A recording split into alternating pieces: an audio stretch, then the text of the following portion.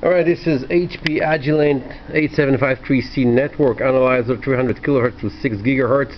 It comes together with the S parameter test set 85047A 300 kHz to 6 GHz, uh, same as the upper unit.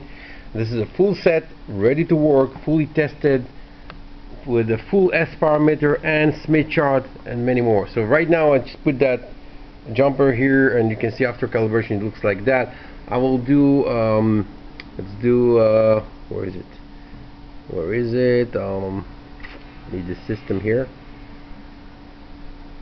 Here it is. System service menu um, self-diagnose here.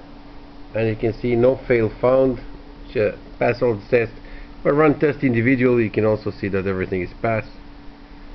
Alright so I'll do a preset for that. So I lost my calibration right now when I do that and just to show how it started. And here it is. I'll do a measurement. Uh, I'll do S21 and put a format uh, just to keep the format as it is. I'll do calibrate um, calibrate menu response through and done. You have to do done and then you can see that the straight line here it's a live line. So if I disconnect here you can see that the line is going down and up. If I push the connector a little bit so you see that is really perfect just really perfect uh, perfect line if I do uh, format you can see the phase delay Smith chart polar SWR etc put the Smith chart here.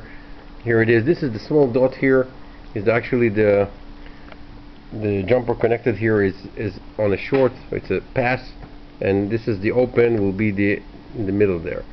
So put that on the open a little bit. You can see that it starts running and here it is so this is the other side here.